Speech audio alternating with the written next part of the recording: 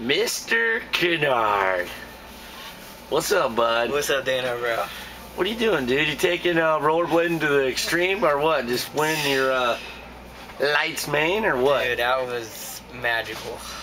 How pumped are you? I've never seen you do a, a triple fist pump off the triple on the last lap. You were always Mr. Serious, and Dude, tell me about it.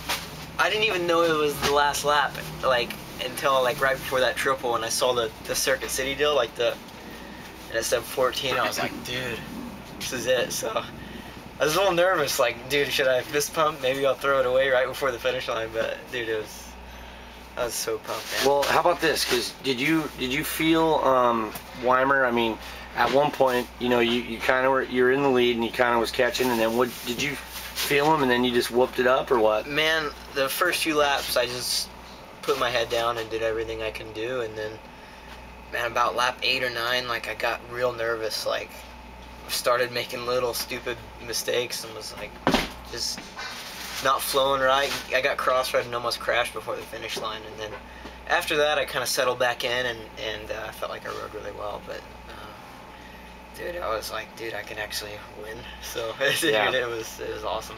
So, uh, what, what how long has it been? What 2008? No, it, 2009. I won last year at Salt Lake City, but um, Yeah. you know, since then, like, I don't know. I almost felt like I had this like this thing, you know, like where I just, um, you know, I had my wins and I'm like done because, I mean, I, I had one win last year, but it was just like, you know, the rest was kind of bad, and then I broke my wrist, and it was just a big downer, you know, and then I kind of had some trouble in Phoenix, and it was like, man, is this ever gonna end? Am I gonna win races again, or, or what? But to win, it was like, dude, I was just so thankful. Yeah.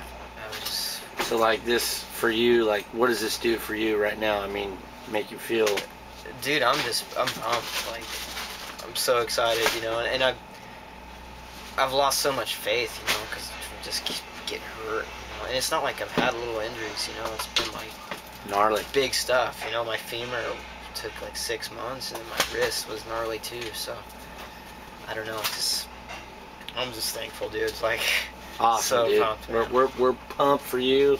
Everyone's pumped. DVS. DVS is pumped.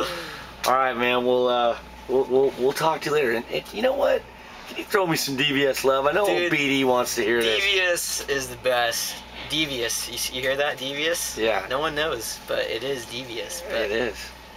dude, if I remember next time, I, I will. I know that. I, get know you have 90 podium- million sponsors, but you know, hey, Dano's here, bro, Damn, for you. Thanks, buddy. I appreciate it. I won't give you the bro, but I'll say buddy. All right, we're. Ever.